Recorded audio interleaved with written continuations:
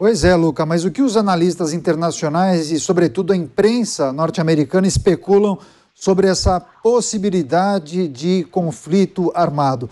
Trata-se de algo distante, é, claro que precisaria ter também um trabalho da diplomacia norte-americana para arrefecer os ânimos, mas eles creem nessa possibilidade? É algo factível?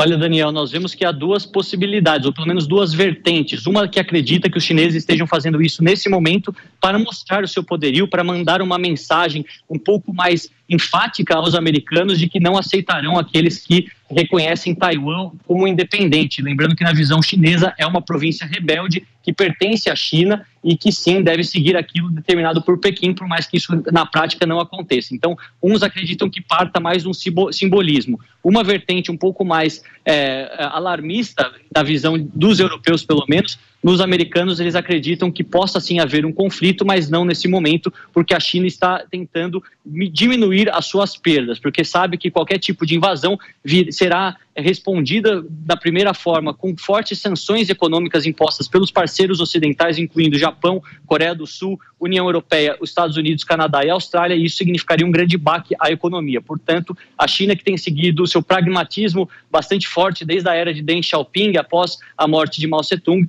está pensando bastante sobre o que fazer com essa questão, mas sempre deixando bastante claro que é uma das potências do mundo que tem um grande poder de decisão na nosso, no nosso planeta e, portanto, não vai aceitar nenhum tipo de contrariação de, de pessoas que contrariem a sua vontade no que diz respeito à sua política regional, principalmente a uma ilha que há tantos anos, por, por vários séculos, pertenceu também ao Império Chinês. Pois é, Luca Bassani, repórter da Jovem Pan News, trazendo atualizações desse que é o principal assunto internacional da semana.